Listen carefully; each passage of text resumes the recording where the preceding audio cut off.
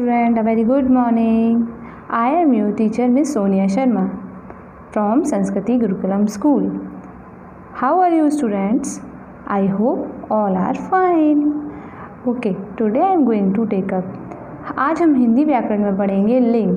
आपने इससे पहले वीडियो में क्या पढ़ा था? विलोम शब्द पर्यावरणी शब्द। लेकिन अब उसके बाद हम क्या पढ़ेंगे? लिंग। लिंग को इंग्लिश में बोलते हैं जेंडर ओके okay, तो लिंग की परिभाषा क्या होती है? सबसे पहले हम ये जानेंगे कि लिंग की परिभाषा क्या होती है।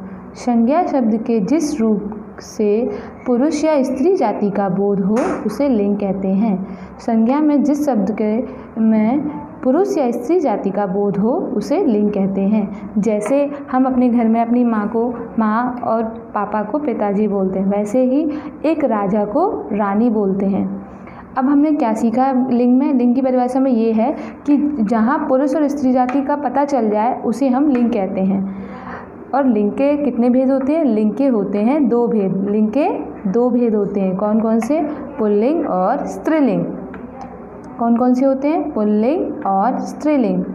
अब आप कहेंगे, मैम, पुल्लिंग क्या होता है? तो पुल्लिंग बोलते हैं, पुरुष जाति का बोध कराने वाले शब्द पुल्लिंग शब्द कहलाते हैं। जो पुरुष जाति का बोध कराते हैं, वो पुल्लिंग कहलाते हैं। जैसे लड़का, बैल, आम, बहुत सारे ऐसे उदाहरण हैं। वैसे ही लड़का, बैल, आम ये हैं। उसके बाद हम पढ़ेंगे स्त्रीलिंग। स्त्रीलिंग का उदाहरण, स्त्रीलिंग को पढ़ेंगे। स्त्री जाति का बोध कराने वाले शब्द स्त्रीलिंग कहलाते हैं।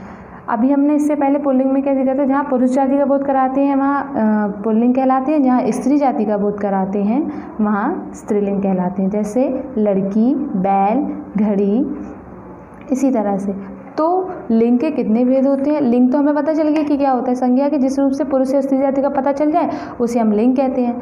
अब लिंग के भी दो भेद होते हैं। ये मैंने आपको बता दिया, पुल्लिंग और स्त्रीलिंग। पुल्लिंग पुरुष जाति का बोध कराते हैं और स्त्रीलिंग स्त्री जाति का बोध कराते हैं। ओके, अब मैंने आपको ये बहुत सारे लिंग बदलो लिखने के लिए दिए हैं। तो हम इसमें लिखेंगे, आप मेरे साथ रीड करेंगे।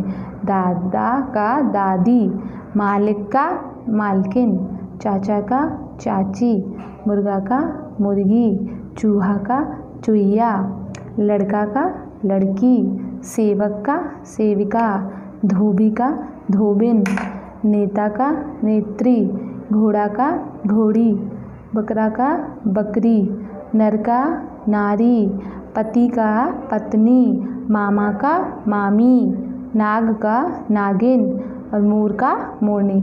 हमने बहुत सारे लिंग बदलो ऐसे सीखे हैं। अब हमको क्या करना है? अपनी हिंदी व्याकरण की फेयर कॉपी में लिंग चैप्टर को कंप्लीट करना है और याद भी करना है और सुंदर हैंड राइटिंग में लिखना है।